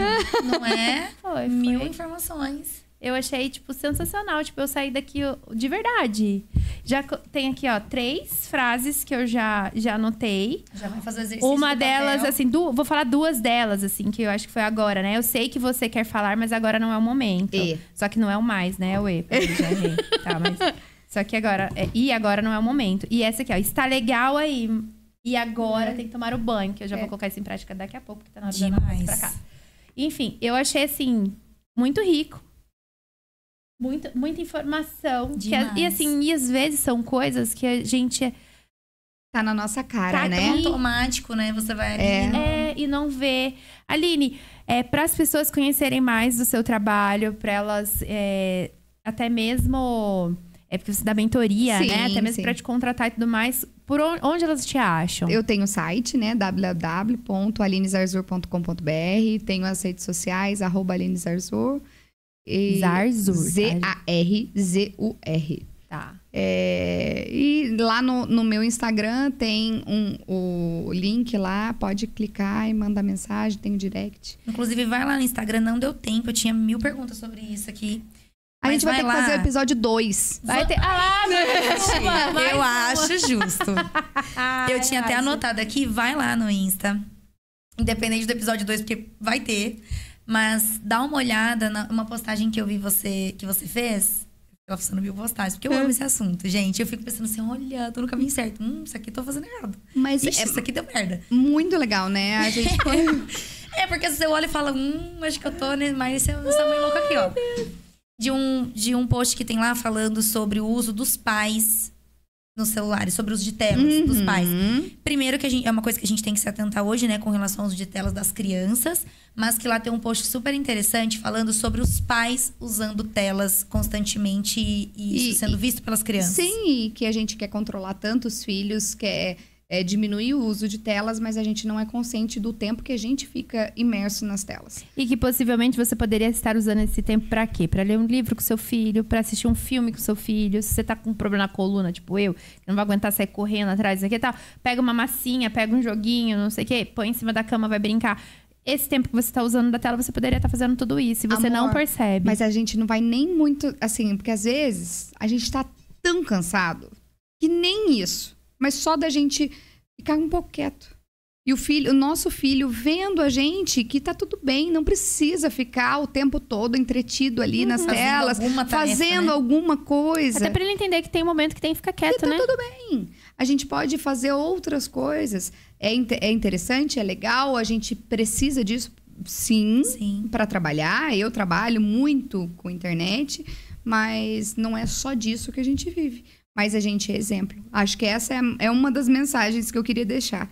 A gente, é, a gente é. pedir isso. É, pra você deixar uma mensagem aqui. É, a gente é, a gente é exemplo para os nossos filhos.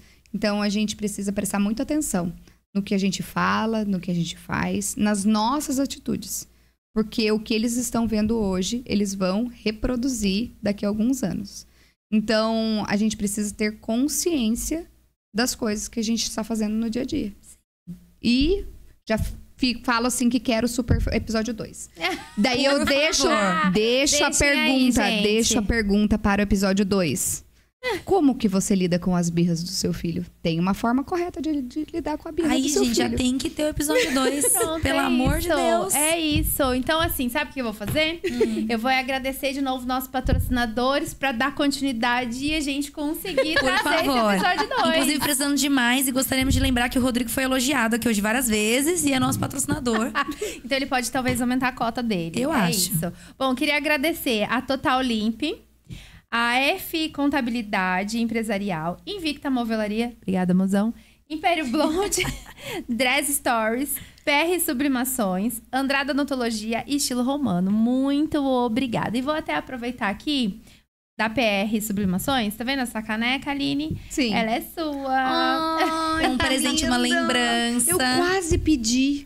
A hora que você trouxe, eu falei assim, gente, é minha. Eu quero uma é, dessa. É, é da PR Sublimações. Um mimo da PR, né? Que manda pra gente entregar pra vocês como uma lembrança desse momento. Que a gente não tem nem como agradecer essa disposição, né? Esse tempo que você tirou para vir aqui para fazer essa partilha de tanto conhecimento, da sua vida pessoal, de tanta coisa com a gente. Foi muito, muito especial. Eu nem vi passar. Pois é, a foi tão rápido. Sente. A gente não ah, sente. A gente eu não tenho para mim que qualquer dia nós vamos fazer um episódio de 5 horas. eu tenho para mim.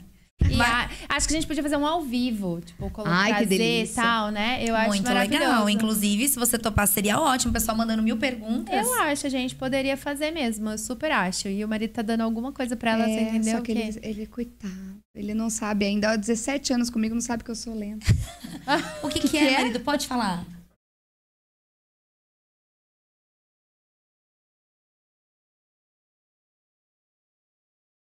Ai, que legal. Mas eu só Olha, vou passar o link no episódio 2. Mentira, eu faço ah, agora. Eu acho que talvez Ela só vai passar não, o link se, se tiver mil visualizações e dois mil Mas será que deu pra ouvir? Porque ele tava ali é, no bastidores. Gente, isso é muito eu legal. Tenho, eu tenho É, repete? É. Tá, vamos lá. Eu tenho um mini curso de tempo de telas. Então, é um, um, um mini curso super rapidinho, gravado, mas que tem, assim, é, orientações para os pais, como que eles gerenciam o uso das telas para eles e para as crianças. Com orientações e ferramentas práticas para dar uma gerenciada. Eu não preciso tirar. Muito eu não vou legal. viver Isso tá numa onde? bolha. Tá no seu site? Tá no seu- YouTube. No YouTube, A, tá. arroba Aline Zarzur, né, produção? É isso aí. Arrasou, É isso, gente. gente. Vai Pra lá pra vocês. Pra ainda vocês. Pra você que pensa aí, assim, ó. não é bom, mas eu não tenho ideia de como fazer Como, isso. como que eu Tá dou lá. o primeiro passo?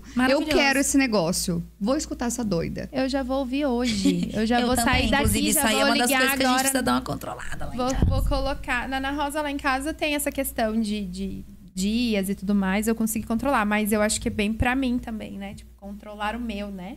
Enfim. Como não trabalhar 24 horas por dia? Tem um curso lá assim? Não. A gente, é só deixar de ser mãe. Ah. Não tem jeito, gente. Mãe trabalha 24 horas por dia, não tem jeito. Bom, 26. muito obrigada, Aline.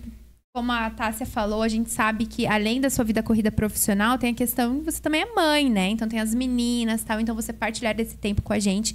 A gente fica muito agradecida por isso. E tenho certeza que todo mundo aí deve ter gostado muito. Uma delícia. com Segue elas nas redes sociais, pega as dicas, porque é bem bacana, é isso. Muito, muito legal. E agradecer vocês também por acompanhar a gente mais um episódio.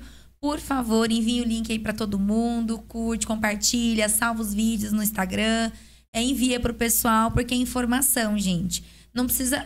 Aproveita pra dar aquela indireta, mas não precisa ser só indireta, não. Manda pra amiga que não tá sabendo o que fazer, o marido tá descabelando. Às vezes parece uma besteira, mas pode ajudar muito mesmo. Outras pessoas que estão ali fora de controle sem saber, e é pra aprender também. Lá eu vi muito vídeo legal. Entra lá, assiste.